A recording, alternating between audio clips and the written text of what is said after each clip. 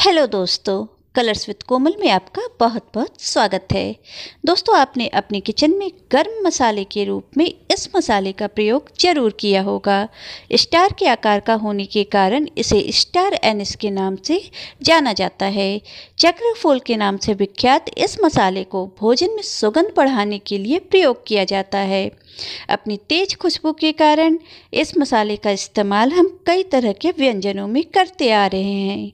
लेकिन क्या आप जानते हैं, भोजन में स्वाद और सुगंध बढ़ाने वाला ये मसाला आपकी कई तरह की शारीरिक और मानसिक बीमारियों को दूर करने के लिए अचूक औषधि का काम कर सकता है। कई एंटीऑक्सीडेंट गुणों से भरपूर ये चक्रफूल एक स्टार हर्ब है। एंटीफंगल एंटीबैक्टीरियल प्रॉपर्टी से युक्त ये स्टार एनिस अगर उचित मात्रा में प्रयोग किया जाए तो हमारे कई रोगों का नाश कर सकता है। और हाँ एक बात तो मैं बताना ही भूल गई। आपकी कई तरह की ब्यूटी प्रॉब्लम को, जैसे कि आपकी स्किन की प्रॉब्लम को और आपके बालों से रिलेटेड प्रॉब्लम को, ये स्टार एनएस दूर कर सकता है। सबसे पहले तो ये स्टार एनएस आपकी बढ़ती उम्र को आपके चेहरे पे आने से रोकता है। आपके चेहरे से झुर्रियों को रिंकल्स को कोसों दूर रखता है और साथ ही आपके चेहरे से पिंपल्स को, झाइयों को भी दूर रखता है। और आपके चेहरे पे एक अद्भुत ग्लो लाता है। आपके चेहरे को एक यंगर लुक देता है। आपके बालों की समस्या, चाहे वो बाल झड़ने की समस्या हो, बाल सफ़ेद होने की समस्या हो, ये स्टार एनएस उन्हें काफ़ी हद तक दूर कर सकता है। हमारी स्किन की प्रॉब्लम और हमारे बालों की प्रॉब्लम को सॉल्व करने में ये चक्रफूल कैसे हेल्प कर सकता है, इसी वीडियो में आगे देखते हैं।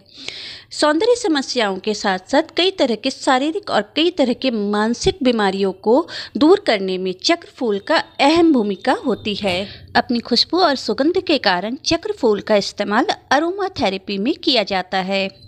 इसके तेल की मसाज करने से चिंता और डिप्रेशन दूर होती है। स्टार एनिस में दर्द दूर करने के गुण होते हैं। इससे हमें अच्छी नींद आती है। अगर हम सोने से पहले एक गिलास दूध में उचित मात्रा में इसे मिला के पिए तो बहुत अच्छी नींद आती है।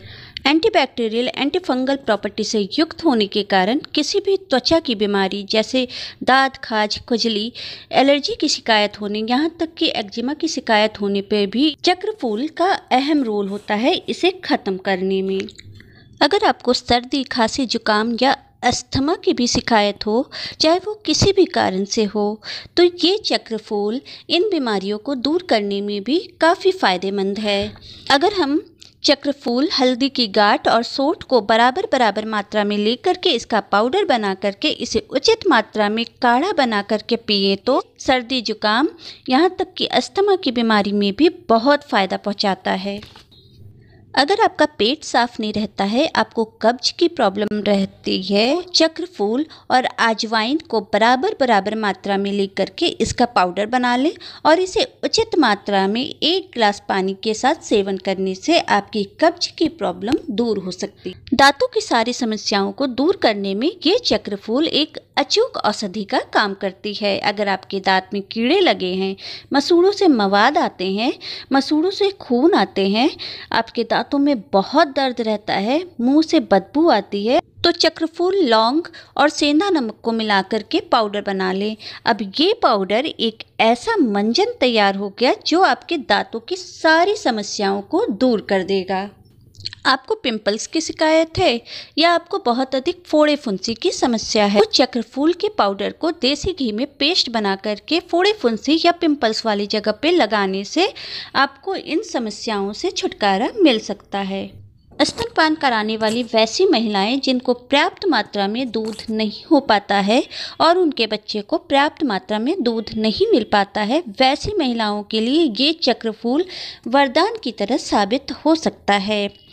इसी तरह से अगर आपको जोड़ों में दर्द, सूजन या गठिया की भी समस्या है तो चक्रफूल और हल्दी की गाठ को बराबर मात्रा में पीस के पाउडर बना करके इसे सुबह और शाम गर्म दूध के साथ उचित मात्रा में लेने से आपकी इन समस्याओं से आपको छुटकारा मिल सकता है।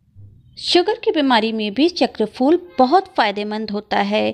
ये आपके शरीर में शरीर के मुताबिक इंसुलिन तैयार करने में आपकी मदद करता है। और आपका शुगर हमेशा कंट्रोल में रहता है। आप स्टार एनएस चक्रफूल की खूबियों से तो वाकिफ़ हो ही गए लेकिन जहाँ चक्रफूल के इतने फ़ायदे हैं वहाँ इसके कुछ नुकसान भी हैं। इसे अगर उचित मात्रा में ना लिया जाए तो ये हमें नुकसान भी कर सकता है। क्योंकि चक्रफूल की तासीर गर्म होती है इसलिए पित्त प्रकृति के व्यक्ति इसका इस्तेमाल ना करे तो अच्छा होगा। जिनके मुँह से, नाक से और गुदा से खून आने की समस्या होती है, वो इसका इस्तेमाल ना करें। गर्भवती महिलाएँ भी इसका इस्तेमाल ना करें। और वैसी महिलाएँ जिसे ज़रूरत से ज़्यादा मासिक धर्म की समस्या होती है वो भी इसका इस्तेमाल ना करें। चक्र फूल को अगर उचित मात्रा में प्रयोग ना किया जाए तो ये फ़ायदे की जगह नुकसान भी पहुँचा सकता है। तो अगर आप किसी समस्या के समाधान के लिए चक्र फूल का इस्तेमाल कर रहे हैं तो इसका इस्तेमाल करने के पहले अपने डॉक्टर से सलाह मशवरा ज़रूर कर लें। उम्मीद करती हूँ दोस्तों इस वीडियो में दी गई जानकारी आपको पसंद आई होगी। अगर वीडियो पसंद आई हो तो वीडियो को लाइक कर दीजिए। मैं मिलती हूँ आपसे अगले वीडियो में। Thank you bye